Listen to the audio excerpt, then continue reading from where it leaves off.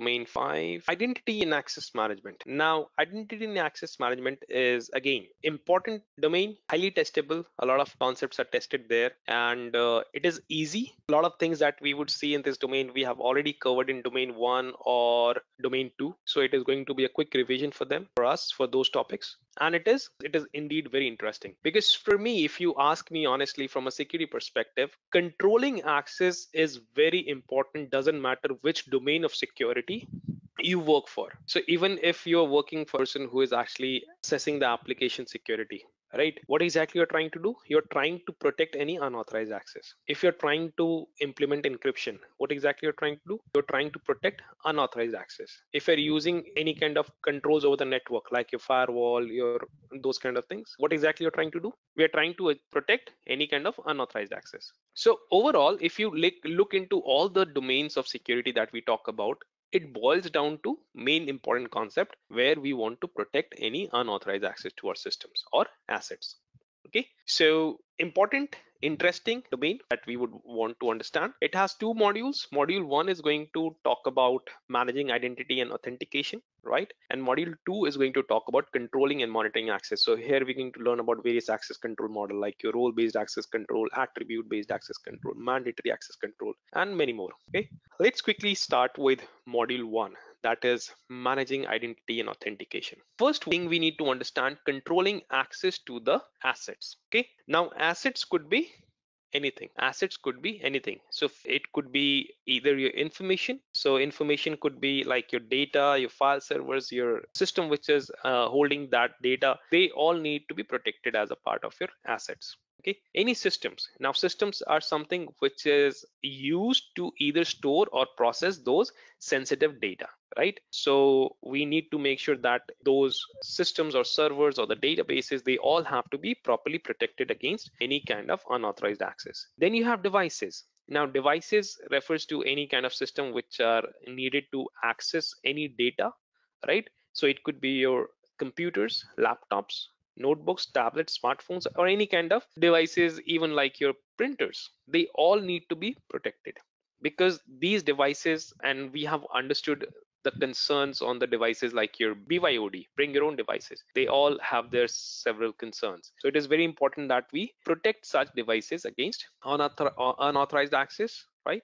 or even we want to make sure that devices are controlled properly so that they do not end up accessing something some important data which is not authorized then facilities your facilities where it is a physical location your premises where people uh, work where your actually data is physically located right? So it could be a buildings it, it could be any kind of a premises or anything that needs to be protected. So any kind of physical access control. So go back to the domain 3 last module physical security. Gates fences lights doors cables locks all the things alarm system intrusion detection system all those things that we read could be used as your physical security control. Then personal are the people who work for you they are the most important assets that you need to protect. So just in case if someone who is working for you and the person is traveling so you might want to offer protection for them in case they are they do not have their own vehicle you might want to get their office uh, transport system should be there. And in case they're traveling on their own make sure that they do not travel in the dark and those kind of things.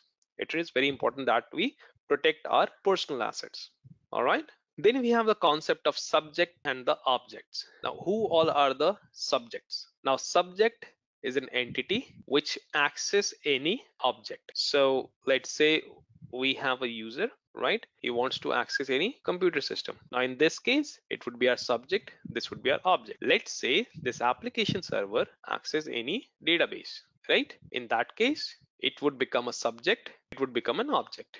Okay. So uh, only authorized subject should be able to access the objects. Now, what is an object? Object is an entity which provides information to the subject. So in this case, this was an object, and in this case, this was an object. Okay.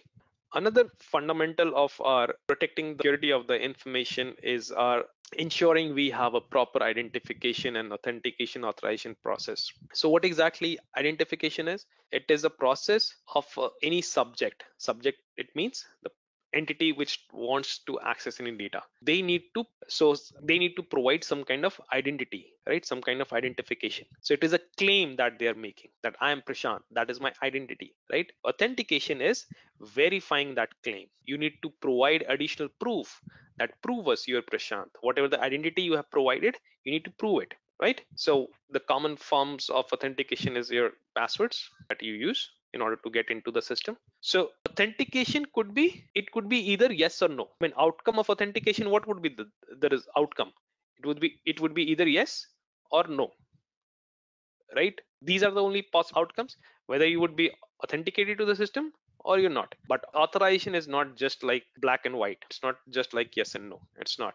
It is way much granular. So authorization means once you're inside the system let's say once you have qualified or check checked this yes part and you come to the next part. Once you're inside this system it doesn't mean that uh, it you can go ahead and do anything right? There's a certain set of privileges that is needed for you to uh, that is given to you that you need to understand uh, that you need to know and those are the things that you get access to based on the principle of your need to know and least privilege okay. Now once a particular subject is inside they have authorized it is very important that a system should be capable of capturing logs. So just in case we have any kind of activities or any kind of incidents or event that has happened it should be able to capture it right? And why exactly we need to capture it?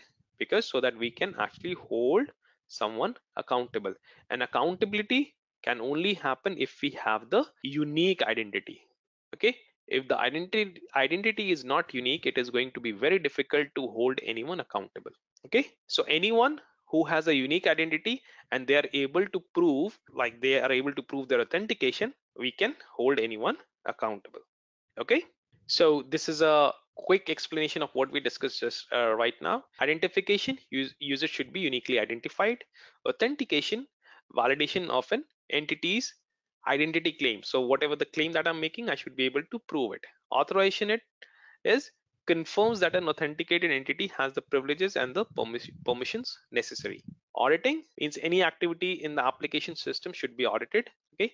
Identifying any kind of technical issues or any kind of breaches. And accountability is tracing an action to a subject. So for accountability identity and authentication. Identification and authentication is must but not authorization right? Because you're able to identify the person only when the subject has been successfully identified and authenticated to the system right?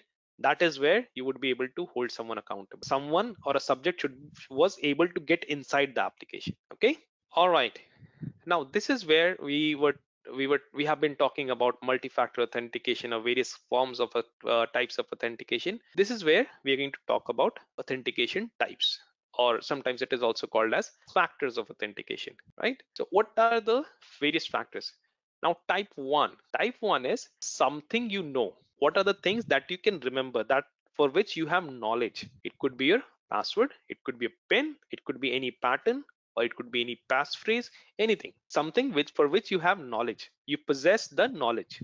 Type 2 is something you have okay? So something a kind of a physical device or a physical entity that you can you're carrying with you like your smart card or your tokens they all are the examples of your type 2 authentication. Then we have type 3 type 3 is a characteristic that you possess like your biometric your physical or the vital states like your fingerprint scan your facial recognition your voice recognition your palm scan. Even like whenever you're going to take your CISSP exam before you take the CISSP exam the proctor is going to ask is going to ask you to do a palm scan right? And each and every time you leave your seat for small breaks like drinking water or having some food or some whatever the reason is you have to scan your palms. And the moment you're going to come back after that break again you have to scan your palms okay? So that is one of the biometric authentication that is that so it talks about the physical traits another type is type 4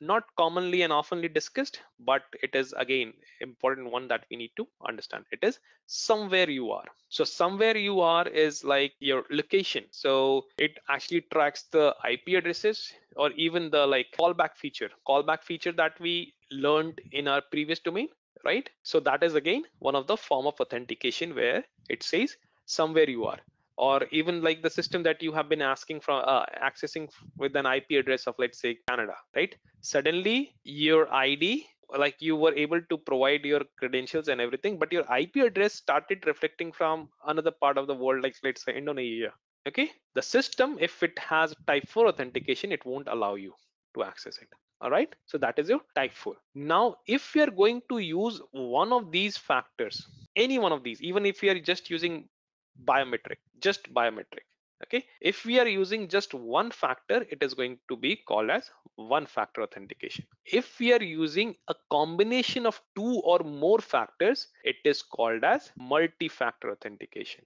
okay? In case if you're using two factors then it is going to be said as two factor authentication. In case if you're using three factors then it is going to say three factors of authentication and so on. Okay? So this is just a uh, general statement that the passwords are not stored in a clear text. It is hashed right? Uh, either either encrypted or hashed and uh, using uh, hashing algorithm like password based key derivation function 2. Okay? So not necessarily that you need to remember the particular algorithm. It is not needed for you to understand. Just a common uh, thing that you need to know is you never ever store your passwords in your clear text all right. Important thing from your biometric pers perspective or your type 3 perspective that you have retina scans. Okay? Now retina scans are the most accurate form of biometric scans most accurate. However it doesn't it is not acceptable. Why exactly retina scans are most accurate? Because it scans the blood vessel behind the eyes which is unique right However, it is not acceptable because by scanning those blood vessels, it is going to reveal the health condition of the person, like blood pressure, pregnancy, or any other kind of medical. Now, in order to protect that, because it contains the health information, PHI details, that is the reason it is not recommended. Whereas iris scan most of the eye scans that are done uh, are done on the iris right? So iris is the area of your eye okay that is the second best and mostly accepted form of authentication. Okay now passwords. Now passwords are the most weakest form of authentication.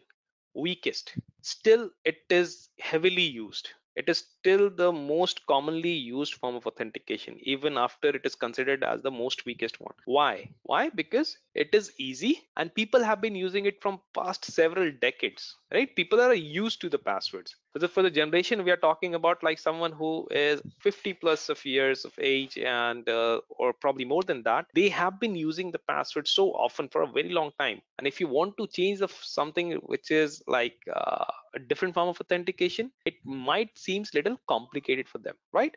So that is the reason. It is easy. It is very less expensive easy to get it configured and people have been using they're used to. Everybody is used to uh, using the password right? Now a common thing that i've written here is that like your passwords are like your toothbrush do not share it with anyone and keep changing in timely manner. That is very important and these are the necessary attributes that you might want to implement in your passwords okay? And how do we actually create a strong password okay strong password is said when it it has it is complicated. So when we say complicated means it includes the combination of your uppercase your lowercase your numbers and your special characters okay?